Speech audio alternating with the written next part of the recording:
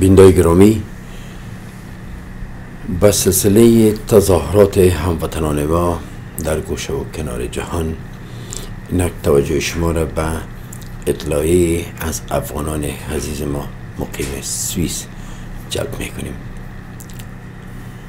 دوستان و افغان های مقیم سوئیس رسانه های محترم در پیوند به حوادث اخیر در کابل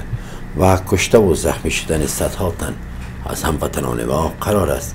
به روز شنبه معرخ دهم ماه جون 2017 گرد همایی صلحآمیز از سوی افغانها در شهر ژنو برگزار شود.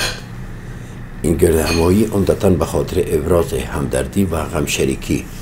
با خانواده هایی که در حمله انتحاری روز چهارشنبه عزیزانشان را از دست داده و یا هم مجروح گردیدن برگزار می شود در این حال اشتراک کننده های این گرد همایی حمایتشان را از اعتراضات مدنی در کابل که توسط جوانان راه اندازی گردیده است ابراز می دارند و عملکرد پلیس در برابر مظاهره کننده های کابل که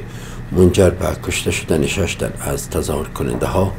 و زخمی شدن بیش از ده تن دیگر آنان گردید تقبیه خواهد شد. در جریان ده روز گذشته حوادث خونبار به شمول